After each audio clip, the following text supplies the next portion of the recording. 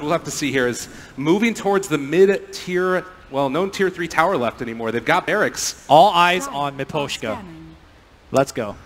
All right. He could just like just walk. And, He's and got drop the Axe. He's throne. got it Yeah, all. yeah. It's He's time got to it all. go. Let's go. Drop Where's everything. the buyback? They could win the game. Oh, they Where's glyph. the buyback? They glyph really early as well. Miposhka is he gonna drop it. Or He's number walking one, forward. or That's number, number two. They're There starting to go. go. They're doing it. They pull one is out as well. It's so much damage onto these towers. Ancient's starting to fall. Are they going to do it? They've caught him as well. Quinn in trouble. He's to die. Juggernaut goes down as well. They got the Ancient. GG. Empire pull What out a fast one. Wow. Oh my god. They came in feeling like the underdog and feeling good right now, holding those mega creeps for so long.